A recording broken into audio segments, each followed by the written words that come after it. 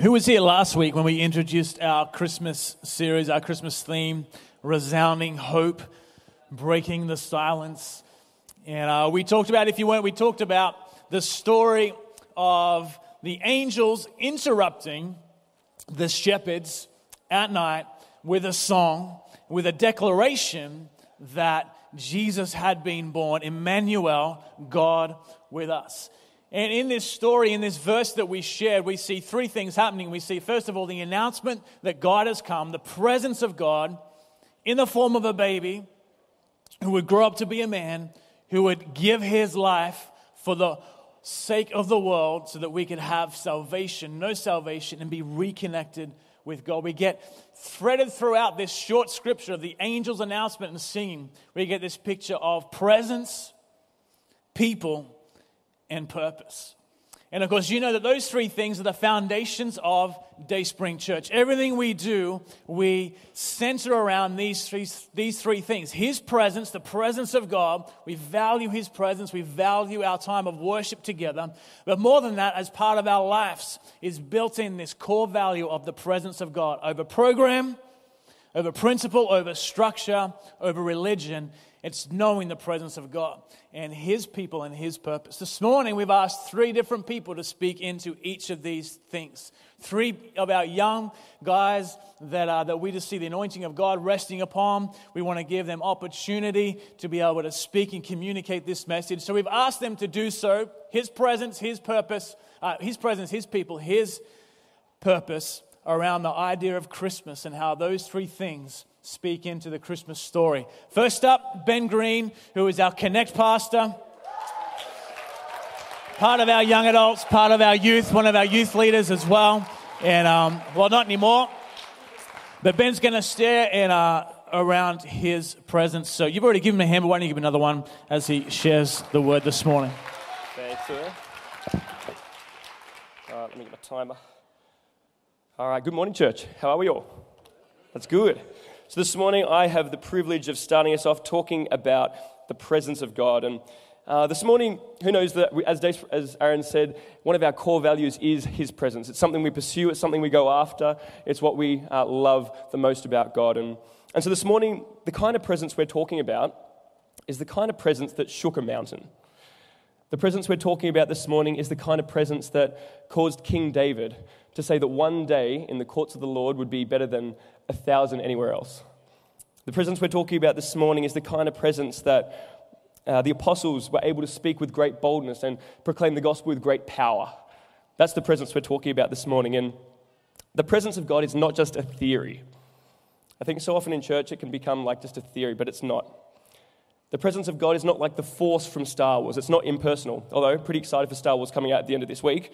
My family's probably sick of me talking about it all the time. The presence of God is a person, the person Jesus Christ. It's God coming close to us.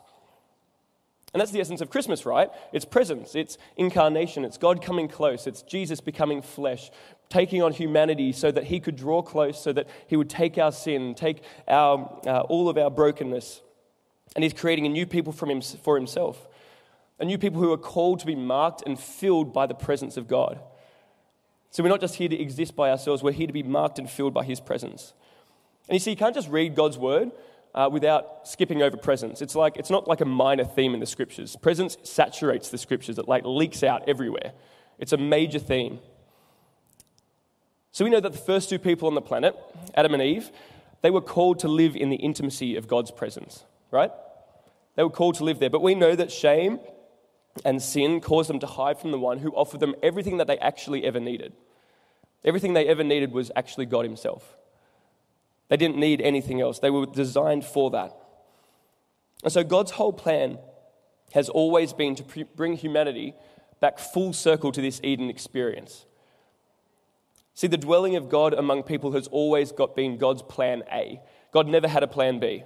God always wanted to dwell among the people. He always wanted to be with his people, filling them, sustaining them, energizing them. And so the Bible is bookended with this idea. We, we start with Eden and we read all the way through and you get to Revelation and it finishes with a renewed Eden. And so I just want us to listen to Revelation 21, verse 3. It says, Look, God's dwelling place is now among the people, and he will dwell with them. They will be his people, and God Himself will be with them and be their God. Did you know that we were actually made to experience infinite pleasure?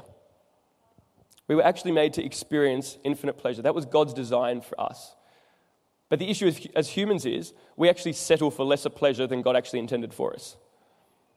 See, that might look like money, a pursuit of money and, and making money a key priority in our lives, or security. It might be relationships, or it might be even like our reputation and how people see us. But God's priority has always been for us to experience infinite pleasure. And see, the scriptures speak in numerous places about the pleasure of God's presence and actually that we were designed for it. And so in Psalm 73, it says, uh, this is David talking, he says, Whom have I in heaven but you? And the earth has nothing I desire besides you. My flesh and my heart may fail, but God is the strength of my heart and my portion forever. And Psalm 42 says, As the deer pants for streams of water, so my soul pants for you, my God. My soul thirsts for God, for the living God. Where can I go meet with God? And then in Exodus 33, we're probably quite familiar with this one. It's one of my favorite ones, especially the last part. It says, The Lord would speak to Moses face to face as one speaks to a friend. Then Moses would return to the camp, and this is the part I love, but his young aide Joshua, son of Nun, did not leave the tent. I'm like, I love that. He lingered there in God's presence because he knew that that's where he was meant to be. See, the scriptures tell us these stories and experiences and truths to actually lead us to experience them for ourselves. They're not just fun facts. The Bible there is recounting these stories to actually experience the God that lay behind all of these stories, to draw us to Him, to experience the God who actually drew near to us in the first place. John 17, 3 says, Now this is eternal life, that they know you, that the one, uh, the only true God, and Jesus Christ, whom you have sent. See, eternal life is knowing God through experiential knowledge. It's not just head knowledge or intellectual knowledge, and sometimes that's needed. We, it's good to know bits and bits about the Bible, the history, and all that kind of stuff, but ultimately the Bible is there to give us experiential knowledge of God. See, eternal life is knowing a person, Jesus Christ. It's experiencing his personality, it's experiencing his nature, it's experiencing his kindness, his goodness. It's experiencing who he is, like, a, like Moses when he would talk to God. It was like a, talking to a friend face to face. That's what we're invited into. That's what God wants for all of us. It's intimate, it's personal. But I know that the, the daily practice of being with Jesus can sometimes feel like a bit of hard work uh, because it doesn't always feel like you're achieving something. I think that's the hardest part about it. And I'm just going to be a little bit vulnerable for a little bit. I, um, this is a journey God's sort of been taking me on for about the last four to five months. Um, it's interesting just this year how we've talked about um, life in rhythm and all this sort of stuff in, in church because it's literally been my own journey with God as well. And so God keeps trying to, over the last four to five months, He keeps sort of wooing me and trying to draw me to Himself. And if I'm honest, there are so many times where I just keep making excuses why I shouldn't do it. Whether it's like, oh, God, I've got this to do, or that to do, or I've got this on my mind, or thinking about this, or. And sometimes I believe the lie that even if I do spend time with you, God, is actually anything going to change in my life? Am I actually going to fall more, in, fall more in love with you? Or am I actually going to be transformed by this moment with you? And so it can be tough having those thoughts when you know that it's actually the best thing for you. See, when I went to uh, America with Aaron and Braid recently, my one prayer going there was, was this it was, God, give me the encounter that I need, not necessarily the one that I want. Because I was like, I might want a whole bunch of things. I'm like, God, I might want tears. I might want, like, some, when we're at Bethel, having some amazing holy awe moment of God during worship, or I might have had some awesome visionary experience. I'm like, they're all cool things. And I'm like, it's great when people have them, but I'm like, I just have no idea. And I'm like, God, just give me the encounter that I need, not necessarily the one that I want. But I just needed my mindset and my heart to shift to be able to spend time in His presence again. And so God did it in the most beautiful way of meeting me, meeting me exactly where I needed Him. Uh, it wasn't dramatic, it wasn't what people would call profound, uh, but literally just came through the speaker, Chris Cruz, who is the young adults pastor at Bethel. And he's recently released a book called The Practice of Being with Jesus, and that alone just sort of changed everything for me because it literally spoke to the very core of everything that I'd been thinking about for the last four to five months and just actually learning that just being with Jesus is what we're created for. Just being with Him. And so he only spoke for 15 minutes or so, but it actually had a profound impact on me. And so since then, uh, with varying degrees of growth, obviously, I've had just those amazing times with God again, just spending time in His presence, just stopping and being still. And so as Christmas comes around again, uh, we get reminded of all these stories, don't we? We get reminded of Herod, of the escape to Egypt, of the Magi, of the star in the east, and undoubtedly, someone's going to talk about Emmanuel, which is God with us. See, the term Emmanuel captures the idea that God's presence, that presence is God's priority. Because at the root of Christmas is a giving God. The generosity of an almighty, all powerful God giving himself to a people so that we could once again be in his presence. That's the heart of it. And so Emmanuel is shown in 1, uh, Matthew 1, verses 20 to 23. It says, uh, all this took, after saying a bunch of other things, it says, All this took place to fulfill what the Lord had said through the prophet. The virgin will conceive and give birth to a son, and they will call him Emmanuel, which means God with us. So here we have, between the two bookends of Eden and new creation, presence once again. God becoming man in the person of Jesus Christ, drawing near to us, creator among the created, God with us. See God entering a world filled with sin, filled with brokenness, and filled with people desperately needing Him, but at the same time not realizing how desperately they needed Him. And so, in that one act of giving Himself and taking on flesh and coming to earth as Emmanuel, God with us, He opened the way so that every day we can experience and encounter Him as a friend. And so, my encouragement this Christmas is this let's be thankful that Jesus has opened our eyes to the reality of who He is. Let's be thankful that Jesus has actually awakened faith in our hearts so that we can actually experience his presence every single day. That the, the gates have been opened wide for us to step straight in, where we get to prioritize his presence over principles or formulas or structures for the sake of knowing him. See, God's presence is priority. We are a people with his presence. And so, this Christmas, how can we make time with our families or individually to stop, to rest, to receive from Him because that's what we were created for. To enjoy God as God and to know Him and be known by Him. Amen? Awesome.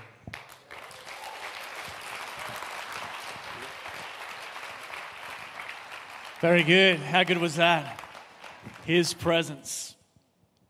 Big part of who we are at Dayspring. Ben's communicated that so clearly, so well. Our next speaker is uh, Caitlin Needs, who is our kids pastor extraordinaire. But what you may not realize is that she's also a very gifted communicator as well. And so, why don't you again welcome Caitlin as she comes and preaches on his people? Thank you. All right. I'm going to start my timer too. Good morning. How are we? Good? So, like Aaron said, I get to speak into people this morning, and I'm really excited because when you think of Christmas, of course, you think of people, right? So much attention is given to the people in our lives this time of year. We celebrate, we gather with loved ones, we buy teacher presents, we, buy, we are involved in Secret Santa. It's people, people, people. But the tension is sometimes people can actually mess with and ruin our perfect Christmas, right? Has anyone experienced a bit of tension with people during the Christmas season? Yes. It could be simple. It could be when you go to the shops. Adam is like, yes, owning that. The extrovert is owning that. When you go to the shops, you know what you want to buy. You want to get in and you want to get out, especially if you are shopping with Kristen. Let's get this done. But then you are stuck behind the person that is walking painfully slow, that they think they're just going for a casual Sunday stroll. Anyone experienced that tension? Yes. Or it could be your own children. If you are a little OCD like me when it comes to decorating the Christmas tree, they decorate it all wrong. How many decorations can they fit on one branch? Does anybody else fix the Christmas tree once they're in bed? There's a few. I feel a bit lonely. I feel sorry for my children. But people can get in the way of our perfect Christmas. But the reality is, Christmas is actually all about people. We know the saying, Jesus is the reason for the season. And yes, He is. He is actually why we celebrate, and He is who we worship. But Jesus had and still has a reason for the season, and that is people. That is humanity. The Father's heart for His sons and daughters is the whole reason why Jesus came. And as His people, those who allow His heart to permeate our own, His sons and daughters, they also become our reason. Amen? Just like our, Pastor Aaron spoke, I have to remember his family, but let's put pastor when we're at church. Pastor Aaron spoke last week on hope resounding and breaking the silence. We carry that sound of hope. We release that sound of freedom. And as his people, we are redemptive by nature because we have received the Redeemer. So this year, we don't just celebrate what we've received, but we receive and we release. We walk in and re- release redemption because it's our nature, because of who is within us. If you have your Bible, why don't you go ahead and turn to John chapter 8. John 8, and we're going to start at verse 1.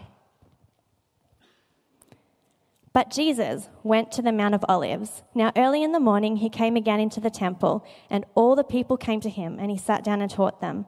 Then the scribes and Pharisees brought to him a woman caught in adultery, and when they had set her in the midst, they said to him, Teacher, this woman was caught in adultery in the very act. Now they said this to him, no, sorry. Now Moses in the law commanded us that such should be stoned, but what do you say?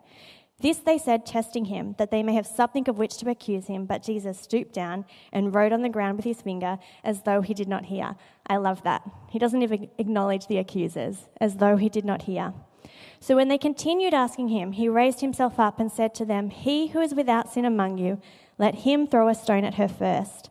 And again he stooped down and wrote on the ground. Then those who heard it, being convicted by their conscience, went out one by one, beginning with the oldest, even to the last. And Jesus was left alone, and the woman standing in the midst. When Jesus had raised himself up and saw that no one but the woman, he said to her, Woman, where are those accusers of yours? Has no one condemned you? She said, No one, Lord. And Jesus said to her, Neither do I condemn you. Go and sin no more. How Jesus responds to this woman is a perfect example of what it is to be redemptive by nature. Can we put ourselves in this woman's position for a moment? And I'm not suggesting that we've all committed adultery, but I'm sure we are all familiar with that sense of hopelessness, being stuck in our circumstance, whether it's from our choices or things out of our control, but feeling destined to be on this merry-go-round forever. Here is this woman caught in shame in the very act. How humiliating and then her shame is paraded out in front of those who would want to point and accuse. And what does Jesus do? He silences her accusers. And rather than adding further condemnation, he offers her hope. He gives her an exit. He doesn't give her a 10 step plan. This is what you have to do if you want me to forgive you. Or if you continue to do this, this is what's going to happen. He doesn't warn her. No, he releases her. I just imagine his kind eyes. He looks at her and he says, Go, go and sin no more. That is redemption. And that is what we get to bring to the world. The words that he speaks, they're not empty. He's not getting mad at her. What is wrong with you? Get your act together. Just stop it. He's kind. His words are empowerment for her. And for those of us who have accepted Jesus as our Savior, we know this encounter well. We have been redeemed. We have been redeemed by our Savior. And because of what we have received, now redemption flows in us. That is our nature, and that is what we get to bring to this world this Christmas and every other day. And it changes how we see people. In our coming and going every day, the people that we encounter, every single one of them, they are purposed to be living testimonies of the redemption of Jesus Christ. They are purposed to be living testimonies of the good news. And as His people, we allow His heart to change how we see them and how we respond to them. It doesn't matter whether or not they're living in that reality. We allow His heart to shape how we see them. Amen. And I understand that life is messy. People can make mistakes, people can repeat behaviors that are not okay and wisdom is needed in those relationships. But there is a difference between putting a necessary boundary in place compared to locking someone in an inescapable prison. And that is exactly what these religious people did. They brought her out, they cast her judgments on her. There is nothing for you beyond this moment. There is nothing beyond this mistake. There is nothing beyond this reputation. This is now who you are. The line has been drawn in the sand, and here is our judgment. But Jesus, he does the opposite. He released her from shame and empowered her to go and sin no more. He brought freedom to the captive, just like it says in Isaiah 61. The Spirit of the Lord God is upon me, because the Lord has anointed me to preach good tidings to the poor. He has sent me to heal the brokenhearted, to proclaim liberty to the captives, and the opening of the prison to those who are bound. This is kind of a trivial example, but when Elliot, our eldest, started prep back in Newcastle, she was in a class with some children that were from former teachers of ours and even a grandchild of a former teacher. And when I found this out, all of a sudden I felt pressure to prove myself. That I no longer was that teenager who skipped class or who misbehaved. Ben was no longer the emo kid. If you're a bit confused of what that means, imagine dark clothes, black hair with a big black fringe covering his face, which we like to call the mud flap. I had his permission to share that. I didn't throw him under the bus. But I felt pressure to prove that that is no longer us. We grew up at some point. We are successful adults, somewhat, somewhat successful parents, and here is my daughter as an example. She's clean, her teeth are brushed if we won that argument, and she's happy and she's loved. Look, we are not the same. People desire so strongly to be viewed for who they are. There is nothing more suffocating or debilitating than being stuck under our, our old mistakes and not being able to get out from under them. And as His people, we get to release that. So many people are longing for that encounter that that woman had, where they are given freedom and permission to actually stand up and walk out of their mistake, walk out of their reputation. And some people don't even know that they can hope for that. They live in such hopelessness that this is it. That anyone that would look at me beyond my mistake is just not even an idea that would occur to them. But we get to bring it. We get to bring redemption. People who are redemptive by nature release freedom and hope by how they choose to see and how they choose to respond. It doesn't happen by default, it's a partnership with His Spirit. People who are redemptive, they allow the Redeemer to permeate their heart and make clear their vision to see people how God has created them to be. So, wherever you find yourself this morning, maybe you are a master at this, and if you are, congratulations. We probably can't be friends because I'm still learning. But maybe if you struggle with this, maybe you've made mistakes, maybe you've made judgments. Breaking news we are all in process, amen?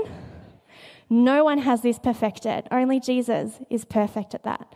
That is why we need his presence. His people are only his people because he is within them. We cannot do this without his presence. And in those areas in relationships where maybe we have made mistakes, where this is on us, we own this, Jesus is right there in the middle of it with the way forward. Redemption isn't a one hit wonder, it's a beautiful story told throughout the entirety of a surrendered life. Time and time again, His redemption is being told through us as we surrender afresh and allow His purpose to be fulfilled through us. So, this season, yes, let's celebrate our reason, Jesus. Let's celebrate Him and give all the glory. But let's also keep our eyes and our hearts open for His reason. Let's allow our Saviour's redemptive nature to become our own. Amen? Amen.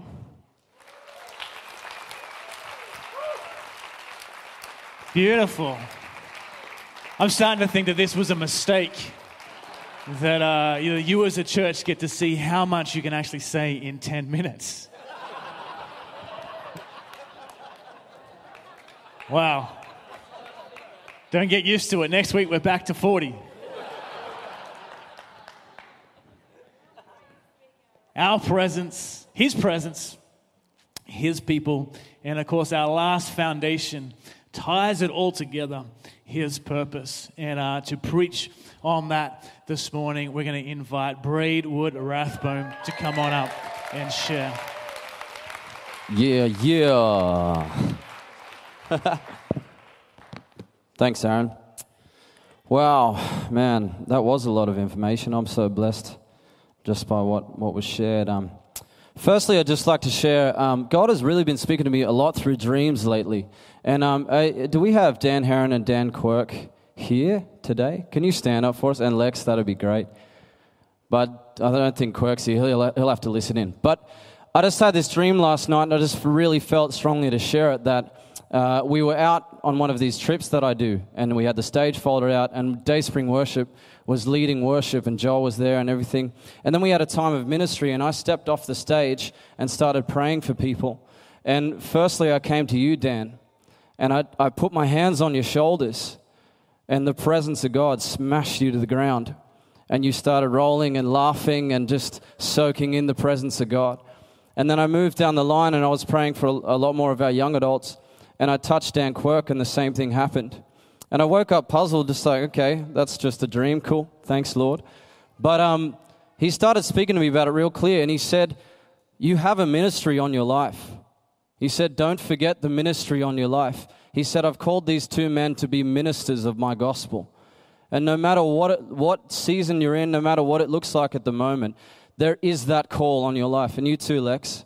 And I just want you to know that because this morning he says, You're called to the ministry. And now I know everyone is called to the ministry, everyone's called to be Jesus where they are. But some people are called out to this specific thing. And I feel that's for you. So be blessed in that this morning. Bless you guys. So I'm going to speak on the presence of God. And I always hold microphones like a, like a singer because that's how I've been taught. So sorry about that. But if you could turn to Luke chapter 1, please, that would be awesome. So Ben beautifully unpacked the presence of God, the beautiful presence of God that we know in this house really well, a thing that we're well acquainted with, a person rather that we're well acquainted with. And uh, Caitlin has unpacked the people of God. Now I want to talk about the purpose of God. And the purpose of God is released and found when the presence of God rests on the people of God. So, a few months ago, about three months ago, I woke up in the morning, much like this morning, but with a burning, a broken, burning heart. And this was different. Man, I love telling the lost about Jesus, it's a big part of my calling. I love it so much. But this was different. I was stirred in a different way. I was really stirred for the lost and I had a broken heart. And then all of a sudden I saw this picture. This is early in the morning, I've woken up, of, of the famous atheist and the famous intellectual Christian sitting on a, a, a, in a debate on a stage. Probably seen that in, on YouTube a few times. And the question was between them is there a God? Can we really know for sure? And they battled it out intellectually.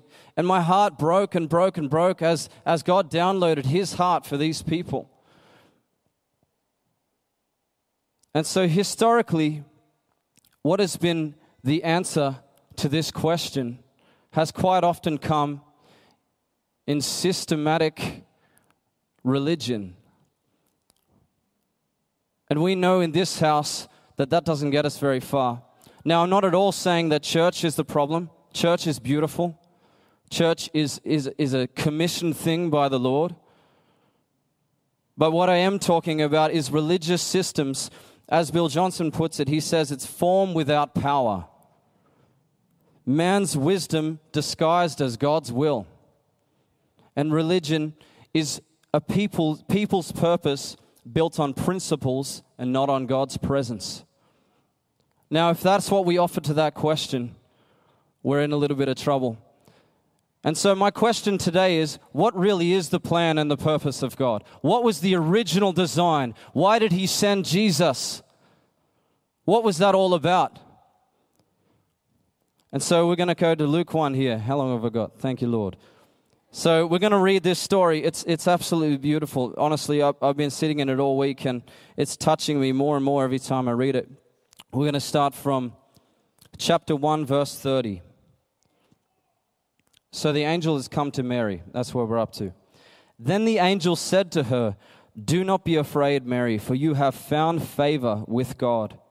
And behold, you will conceive in your womb and bring forth a son, and he shall be called Jesus, which means salvation or, or deliverer, a rescuer.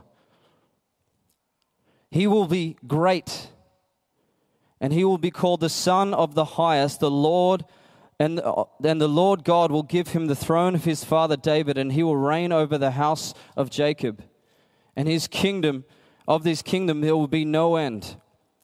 Then Mary said to the angel, How can this be, since I do not know a man? And the angel answered and said to her, The Holy Spirit will come upon you, and the power of the highest will overshadow you. Therefore, also, the Holy One who is born to you will be called the Son of God. Now we're just going to skip down to 38. This is Mary's response to this incredible news. Mary says, Behold, the maidservant of the Lord. She's saying, I'm your servant, Lord. let it be according to your word. What an incredible response of this teenage girl. Most scholars believe she's would have been between 13, 16 years old, maybe a little older. And her response to this amazing word is, Yes, Lord. Her response to the presence of God coming and overshadowing her is, Yes, Lord. I'm your servant. Let it be done according to your will. Beautiful. And so, as the presence of God touches her, the purpose of God is conceived in her for all humanity. Now, this is a picture for us today. This is a prophetic picture for us today. We, as the people of God, as the church of God, when we say yes to keeping the presence of God as number one, when we say yes to keeping His, His person, His presence in the center, we find the purpose of God and we are released into the purpose of God for our lives. So I just want to skip over to um, John 17 3 that Ben very nicely spoke on as well. So thank you, Holy Spirit, for that. and this is honestly one of my favorite scriptures. My Connect group knows I've been preaching at them all, all year. Um, we're just going to start 17, verse, verse 1. We'll start in. Father, the hour has come. Glorify your. This is Jesus, by the way. We've probably read this passage many times. Jesus speaking, speaking to the Father. Father, the hour has come. Glorify your Son, that your Son may glorify you. As you have given him authority over all flesh, that he should give eternal life to as many as you have given him. And this is eternal life, that they may know you, the only true God, and Jesus, whom you have sent. Now, this word know here is very interesting. In the Greek, Russell's going to do it way better than me. That's okay. Everyone always says that, don't they? But that's all right. Bless you, man. You're awesome. Ginosko and it means, it's the same word we found in Luke chapter 1, where Mary says, I haven't known a man. I don't know a man. It's an intimate knowing, separate from the word that is pure knowledge. It's a different word here. It means intimate knowing, an intimate knowing, the most intimate knowing. In this Luke 1 passage, it's used as, as, as the thing between a man and a woman, the beautiful sacred moment between a, a, a husband and a wife that God has given. In the same way, Jesus says that they may know God in this way. And I propose this morning this is the purpose of God. This is the purpose of God for His people. He has called us to be in such a deep, knowing relationship with Him. He hasn't called us. I asked this question before. Well, what was His purpose and design for His church? He hasn't called us to systems, He hasn't called us to simply go through the motions. He's called us to do a deep knowing of Him, to be in a deep relationship with Him where you can hear His voice through, through everything. I believe you can. And so, the purpose of life, the purpose of God sending Jesus to redeem us, and our purpose in life is to know this God. To know the Father through the work of the Son by the power of the Spirit. And so life life there he says it is life eternal life is to know him so life isn't material things necessarily it's not a better job it's not even how, how you're going, it's not even your emotions. Life itself is found in the knowing of God through Jesus, through the Spirit. That is life. And when you start experiencing this thing, I tell you, it's amazing. I've had moments I'm running through the bush, praising the Lord, the sun's shining. and I just have this snap moment. I'm like, whoa, this is to know you right now life right now, I, I'm experiencing the fullness of life because you're in me, because I'm knowing you right now. And so I challenge you this morning. And I really just felt, where is the band? Can the band come up now? That'd be awesome. Thanks, crew. I really, really just felt as I was preparing that the Lord is calling us back to this place, back to a deep knowing of Him. And I, I know this is something, don't, don't hear me wrong. This house preaches this well. We keep this at the focus. But even in the midst of all of that, we can get very caught up. It's just like Ben was talking about how he, he, he gets caught up in the doing of life, in the busyness of life. And the Lord, I really strongly believe He's calling us this morning back to the knowing of Him. And I, that may look different for every person, it really may. But I just want to offer this morning the chance that if you're being touched by the Lord right now by what I'm saying, that He is saying something to you and he's, he's pulling you into this place. And I have a word that I need to release over you.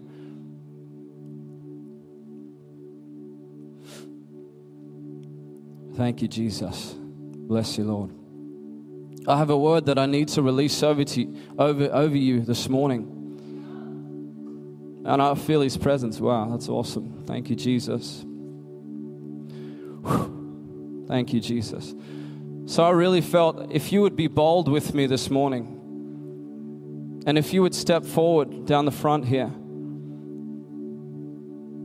if you would come down, if you're in a place where you're stuck in the doing, and I believe your heart is right as well. I, be, I felt that. I believe your heart is towards Him.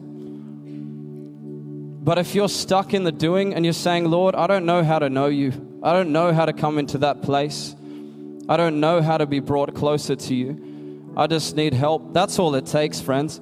That is all it takes, is to say, I need you, Lord.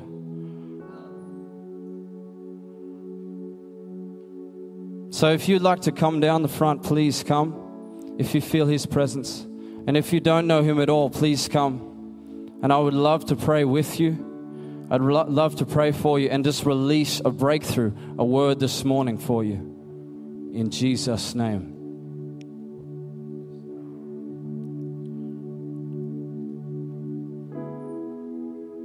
Thanks, man. Bless you. I feel this strong on my heart. There's people who need to be down here.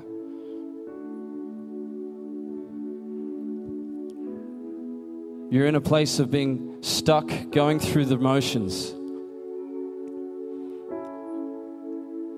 And this morning, God wants to release you from that. He's going to teach you how. Thank you, Jesus. Thank you for your glory, Jesus. Thank you, Jesus. Oh, you're so awesome for coming down. Thank you so much.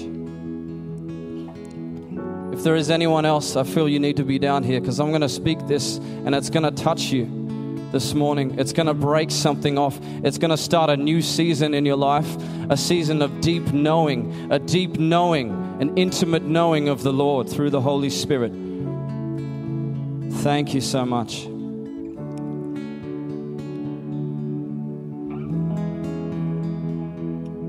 Thank you, Jesus.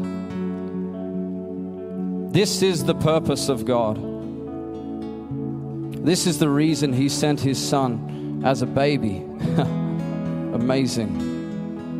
So you could be redeemed. Just like Ben was saying, you could be redeemed back to the garden, back to a place where you walked every step with the Lord, where you heard His voice through everything.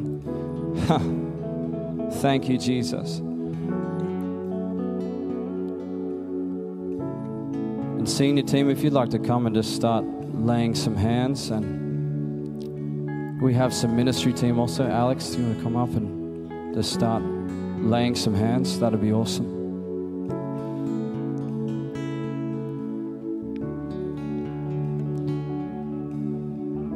So, this was the word the Lord spoke to me so clearly the other day. So clearly. I was driving along on Tuesday preparing for this message. Oh, man. And I heard the Father's voice so clearly. And as He spoke, it broke me. It broke something open inside me. And I heard His voice say, Son, what do you see? Just like He said to one of the prophets, was it Jeremiah, I believe? He said, Son, what do you see? And I closed my eyes, so I pulled over, obviously. I closed my eyes and I said, Lord, I see the ice breaking. And I saw an ocean of ice frozen over, so thick, frozen to the bottom of the ocean. And I said, Lord, I see the ice breaking. I see the ice breaking. and he said again, Son, what do you see? I said, I see the ice breaking, Dad. I see the ice breaking. And all of a sudden, I saw the fire of God come up from under the ice. And an explosion of ice, and the ice broke. This amazing prophetic picture. And I said, God, what's that all about? I don't even know. He said, It's the system, son. I'm breaking it off people because I want them to know me. I'm drawing them into a deep, intimate place with me. I'm breaking off the, the, the, fu- the systems, the way that they've learnt how to do things, and I'm drawing them into a personal relationship, the thing I desired all along.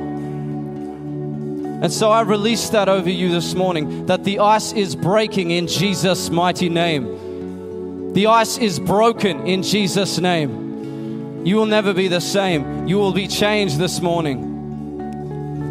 Brought in, you'll find your place, and it's your place between you and the Lord. It's your personal place. He's going to teach you this morning.